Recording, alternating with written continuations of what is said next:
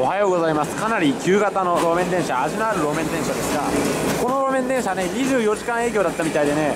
昨日も深夜まで走ってましてちょっとうるさかったわけですがえー、昨日運命の、えー、スリと言いますかスリというよりは強盗と呼ぶ方が適切だと思いますけれど大体あの辺で遭難しましてですね、えー、なんとか命があって本日も無事に特に影響なく朝を迎えることができただけ、え幸運だったものです。ただいまの時刻ちょうどここに出ておりますが本日は8月の30日皆さん夏休みの宿題の出来はいかほどでしょうか。最近ね夏休みの宿題っていうか夏休みが8月25日とかに終わる例も結構寒くない地方でも増えてるらしいですけれど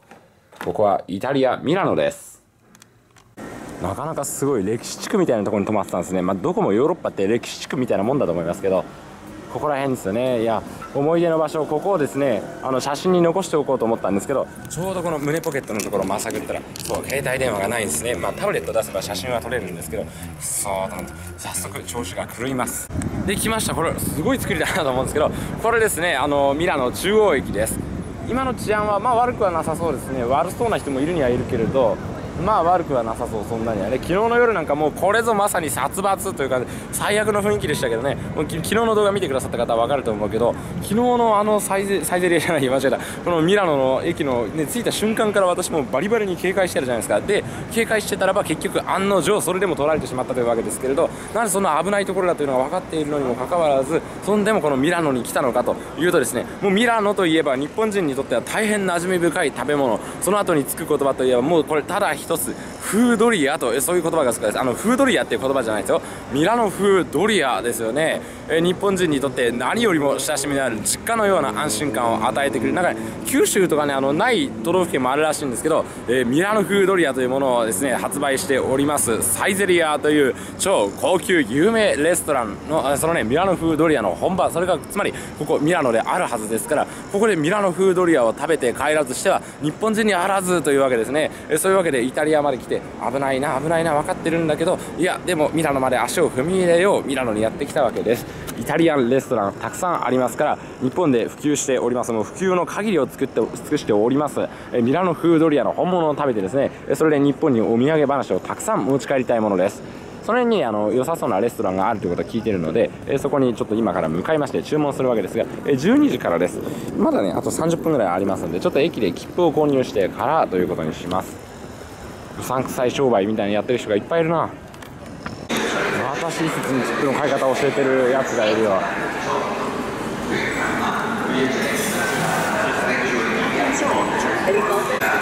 これでちょっと時間だけ先に調べておこうと思うんですがこれをやっている間に後ろからスリが来るから気をつけろって言うんですね。スリは、まあ、とりあえず取られるようなものポケットに入ってませんのでいいんですが、えー、このこれに反射するあれでですね後ろに警戒しながら切符を買うのがね大変なんですよ。もうほんとつらいよな。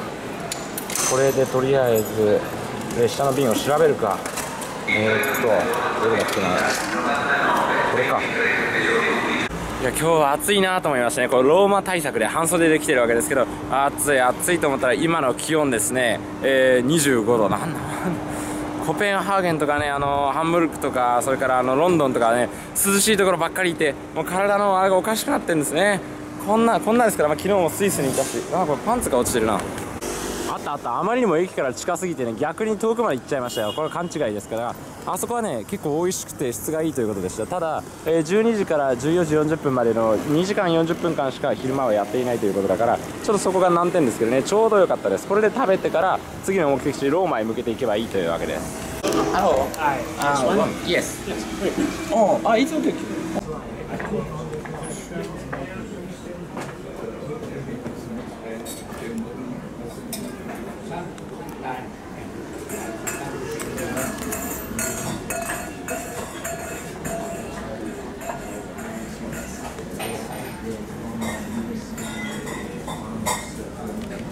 Okay, I have a question. Yes. Uh, I'm from Japan. Uh, in Japan, yes. the meal named Milanian Doria is very, very famous. Uh, uh, do you have Milanian Doria? No? Milanian? Uh, Doria.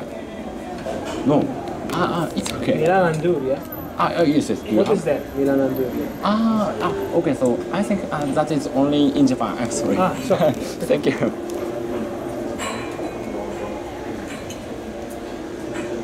や一人になってから昨日までサンドイッチとハンバーガーとソーセージしか食べてなかったから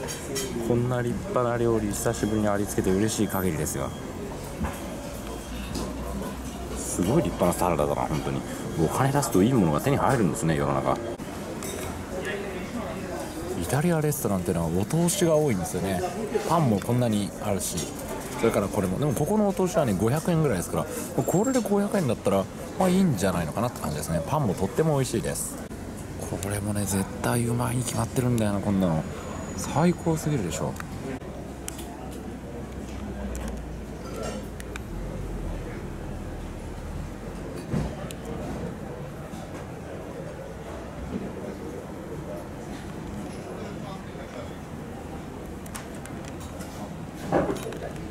すごいな「I'm from Japan」って言ったらねナイフとフォークにじゃなくてナイフとフォークとスプーンにしてくれました。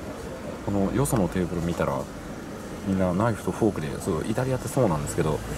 日本から来たんですよって言ったら日本式にしてくれましたね。いや助かる。嬉しいな。Mm, but now uh, I will be soon full, so uh, please make this not so much. Okay. thank you. ボンゴレビアンコものすごいオリーブオイルですからこうつけて食べるわけです。美味しそうだ。これかあまりいっぱい持ってこなくていいですよって言ったんですけど普通の量で来たようですがまあともかくこれがミラノ風リゾットですね。ミラノ風ドリアはないけどリゾットを頼もうと来たわけですが多分あれなんでしょうね。なんか分かったんですけどなんかミラノ風ドリアってやっぱ日本で適当に作ったサイゼリヤが適当に作ったもんなのかなと思ったけどこれが黄色いのは同じだから多分お米が黄色いからそれでミラノ風っていうのはそういうことなんでしょうね。だからあながち間違いでもない。別にミラノドリアとは言ってないですしね。ミラノ発祥ではなくてミラノドリアえミラノリゾット風ドリアを略してミラノ風ドリアって感じなのかな。これか。ちょっと早速食べてみましょうね。すごいな。のでねいただいてきました。とっても美味しかったんですけどね。ただねそこのなんすかな接客の人親切に私にミラノ風ドリアの話とか聞いてくれた人にチップ渡したかったんですけどその人が全然来ないからねどうしてもチップ渡せなくてしょうがないから別の人に払っちゃったちょっと悪いことしたなっていうような気もするんですけどでもまあ来なかったその人が悪いっていうのもそうなんでね。でまあそれはいいんですけどあのミラノ風ドリアっていうのねサイゼリアのホームページなんか書いてあるらしくて私そのホームページ見ても分かんなかったんですけどあのネットのなんなんていうのかななんかウェブニュースみたいなのありますよね。ネットニュースが。そこに書いてあったんですがあのミラノ風ドリアなどサイゼリア独自のメニューや本格的なイタリアンが楽しめるのがサイゼリアですみたいなことがですねサイゼリアのホームページに書いてあるらしい。だからそもそもやはりミラノ風ドリアというものはサイゼリア独自のメニューだということをサイゼリア自身がこのように言っているということなんですね。まあ、別にミラノ風ドリアはミラノにないじゃないか嘘つきやがってっていうんじゃなくて実際にあのリゾット食べましたけどあのリゾットもね食べてみてやっぱり味は基本的にミラノ風ドリアのあの上のあの茶色いやつがないような感じでしたからね。のあえてここであの逆に言うならばえーミラノ風ドリア風リゾットを食べたような感じでして確かにあれはねあのミラノ風ドリアの味がしました。あのご飯はちょっと硬かったですけどまあそれはあのリゾットの作り方がそういうものなので別にそれはおかしくはありません。日本のミラノ風ドリアはねご飯炊いてますけどね。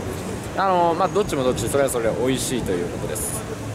でもっと調べるとそもそもドリアなんていうものはねあのイタリアにはない料理らしいんですねミラノ発祥とかそういうところをもうそもそも抜きにしましてドリアってねどこ発祥なのかなとか調べたら日本発祥の料理らしいんですよヨーロッパとかねこういうところでもあの洋食としてドリアというものが作られてはいるそうであそこでも「Do you have ミラニアンドリア?」って聞いたらばドリアみたいなこと言ってましたからあのドリアというそのことは向こうの人たちもやっぱり知ってるみたいですけれどでもなんなんだっけななんか横浜のニューグランドホテルニューグランドか私もね1回だけ泊まったことあるあのニューグランドでのなんかリクエストに応じてなんか食べ物食べやすいものを作ってくれないと言って作られたオリジナルメニュー。えそれがなんかエビかなんかが入った海鮮ドリアというものらしいんですけれどスイス人のシェフが作ったなかなか不思議なスイス人シェフが作った、えー日本で生まれたドリアというもの。これがまあつまりま日本発祥なわけですね。全然イタリアなんか関係ない。だから、まあ、ミラノ風ミラノリゾット風ドリアというふうな解釈がいいのかなと思いました。